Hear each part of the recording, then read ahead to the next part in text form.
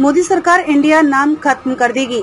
इस डॉक्यूमेंट ने सारी कहानी बता दी। तीन घटनाएँ हुई जिनसे इंडिया नाम बदलने की बात होने लगी। अब इस पर किसने क्या बोला?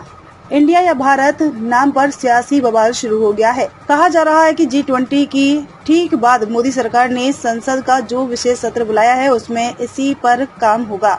नाम बदल दिया जाएगा और फिर देश का नाम सार्वजनिक और सार्वभौमिक रूप से सिर्फ़ भारत रहेगा। फिर इंडिया कहा जाना बीते जमाने की बात हो जाएगी, हालाँकि फिर बता दें कि ऐसी केवल अटकलें लगाई जा रही हैं।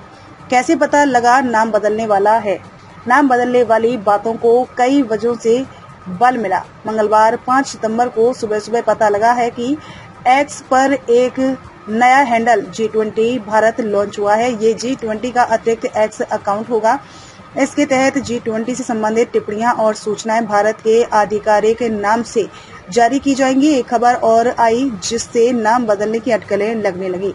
राष्ट्रपति भवन ने 9 सितंबर को जी ट्वेंटी डिनर के लिए जो निमंत्रण पत्र भेजा है, वो भी भारत के राष्ट्रपति के नाम से भेजा गया है, जबकि अभी तक इसके लिए सामान्य प्रचलन में प्रेसिडेंट ऑफ़ इंडिया ही लिखा जाता रहा है। इस निमंत्रण पत्र की एक तस्वीर भी सामने आई है, जिसे एक मंत्री को भेजा गया है। इस पर प्रेसिडेंट ऑफ़ इंडिया की जगह प्रेसिडेंट ऑफ़ भारत लिखा हुआ दिख रहा है।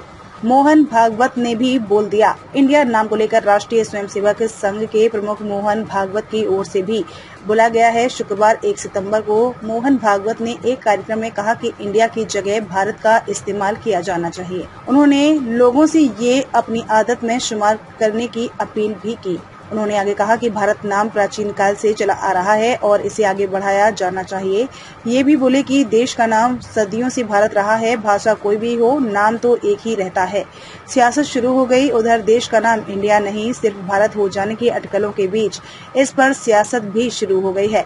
बीजेपी नेता और असम की मुख्यमंत्री हिमता विश्वास शर्मा ने इस पर खुशी ज़ाहिर की है। उन्होंने एक्स पर लिखा, रिपब्लिक ऑफ़ भारत भारत गणराज्य। खुशी और गर्व है कि हमारी सभ्यता साहस पूर्वक अमृत काल की ओर आगे बढ़ रही है।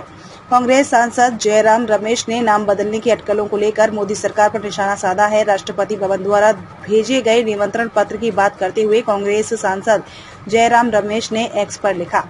तो ये खबर वाकई सच है।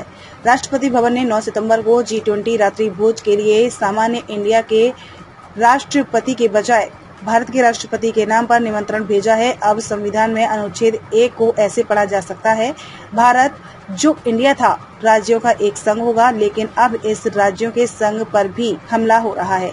कुल मिलाकर कहें तो अगर देश का नाम सिर्फ़ भारत कर दिया जाता है तो ये अभी अभी बने। इंडिया गठबंधन के लिए बड़ा झटका साबित होगा, क्योंकि हाल ही में ही इस गठबंधन का नाम यूपीए से बदलकर इंडिया किया गया है।